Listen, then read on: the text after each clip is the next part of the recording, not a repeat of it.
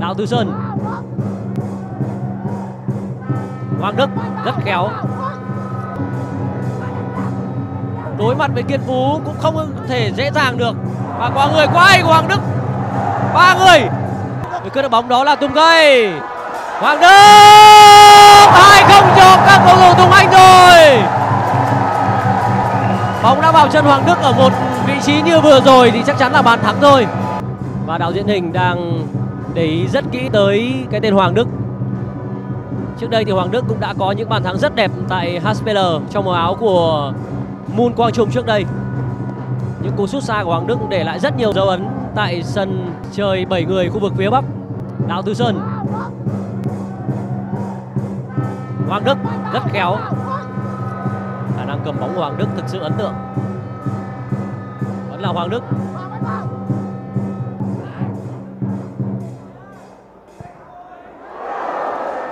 Sút rất mạnh của Hoàng Đức và có phạt góc cho cầu thủ Tùng Anh. Cú dứt điểm đầu tiên của Hoàng Đức trong trận đấu này.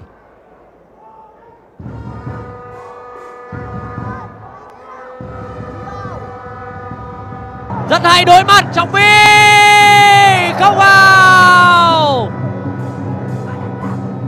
Đối mặt với Kiên Phú cũng không thể dễ dàng được và qua người quá hay của Hoàng Đức.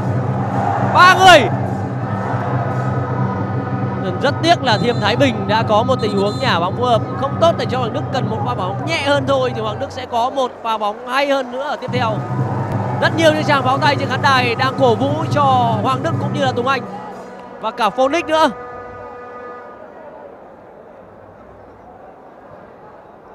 Thiêm Thái Bình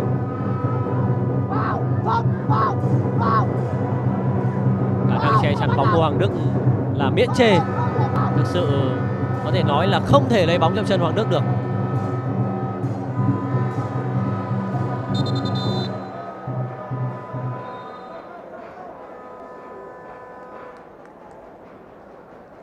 Sự thay đổi người của cao thủ Tùng Anh. Công định công định vào sân để thay cho Quốc Công. Hoàng Đức. Rất hay Quang Hiệp, không được rồi. Quá đáng tiếc, đúng là tâm lý của một cầu thủ trẻ và đưa bóng, có thể nói là điểm 10 của Hoàng Đức. Tình huống đưa bóng đã loại hết hậu vệ của Phoenix. Đỡ bóng nhịp 1 cũng tương đối tốt rồi. Nhưng ở nhịp chỉnh bóng thứ hai thì lại quá tệ. Thật sự là quá đáng tiếc. Cầu môn thì mở quá rộng rồi. Một đỡ và một sút ngay là phương án khả thi nhất.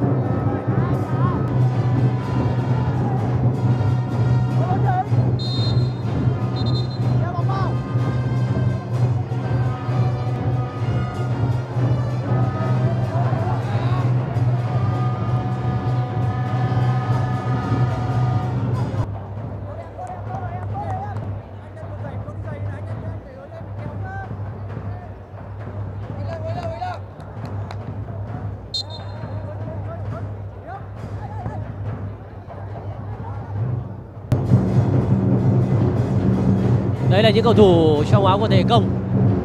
Tuấn Tài, Kai Keremes và Đức Chiến.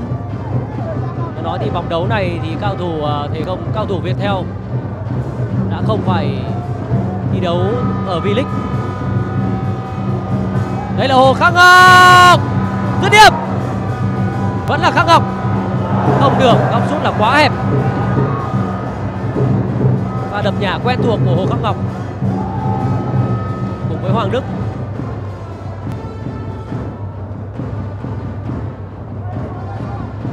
Sáng Percy cũng là một cầu thủ không qua tập, nhưng anh là một cái chân trái vô cùng khéo của bóng đá phong trào. Anh Pogba căng ngang. Rồi là Khắc Ngọc. Khắc Ngọc quyết định căng ngang cho Việt Hải Dương.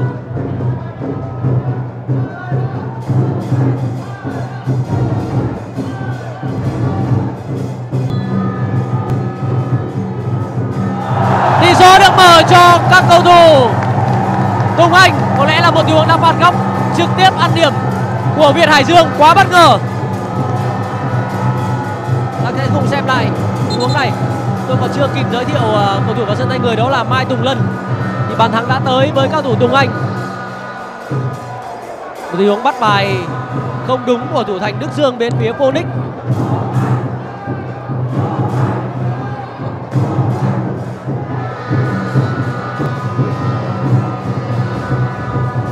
Cùng xem lại tình huống làm chậm.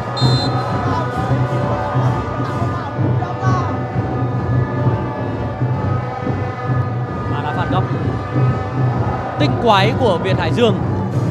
Một tình huống mà Đức Dương đã đứng sai vị trí. Cán Chris vào sân. Thay cho Trọng Hiếu. Sẽ là một trận đấu khó khăn cho các cầu thủ Phoenix.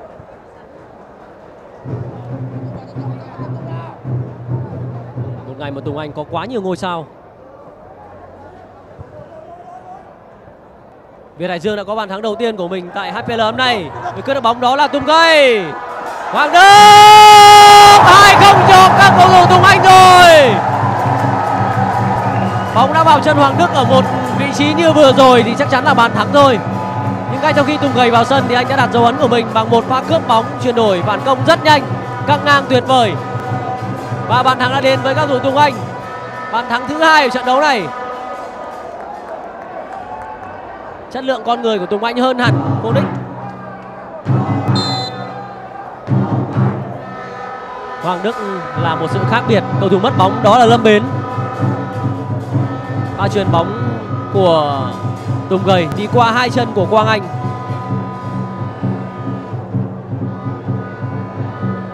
chạm bóng rất hay của Hoàng Đức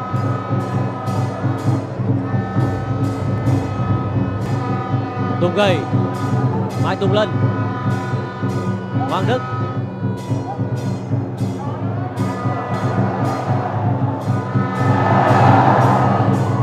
Tình huống xử lý của Hoàng Đức gây ra rất nhiều những tiếng ồ và sự phấn khích trên khán đài. Khán giả trên sân Hoàng Mai ngày hôm nay chắc chắn là rất vui khi có sự xuất hiện của một những ngôi sao sáng giá nhất của bóng đá Việt Nam ở thời điểm hiện tại. Đó là Hoàng Đức.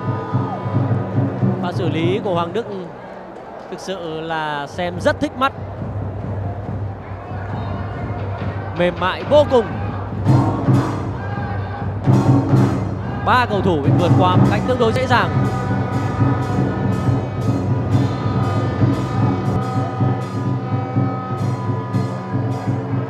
Hoàng Đức. Rất hay, Hoàng Đức. Đúng cây, ba không cho các cầu thủ Tùng Anh thể nói là một ngày mà Hoàng Đức đã tỏa sáng rực rỡ. Một sự khác biệt quá lớn. Có Hoàng Đức là có ba bàn thắng.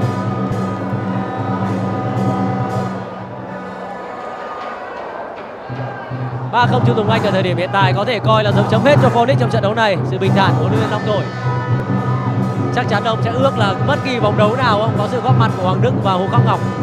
Và ghi bàn dễ dàng của Tùng Gầy. Tùng Gầy vào sân thay cho Quang Việt và đã có một kiến tạo, một bàn thắng rồi pha thoát đi nhẹ nhàng của Hoàng Đức đã giúp cho Tùng Anh có tình huống 2 đánh 1 quá hoàn hảo.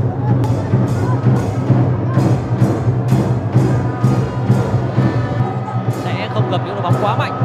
Đây là Hoàng Đức! Không vào! Suýt chút nữa thì Hoàng Đức có một cú đúp cho mình trong trận đấu ngày hôm nay. Trận đấu đã kết thúc với tỷ số 3-0 nghiêng về Tùng Anh. Một tỷ số xứng đáng thôi với những gì mà các thủ Tùng Anh đã thể hiện trên sân. Chiến thắng thứ hai của Tùng Anh ở mùa giải hôm nay, đó là một chiến thắng thực sự thuyết phục. Hôm nay Tùng Anh đã có 8 điểm và tạm thời leo lên vị trí thứ hai trên bảng xếp hạng.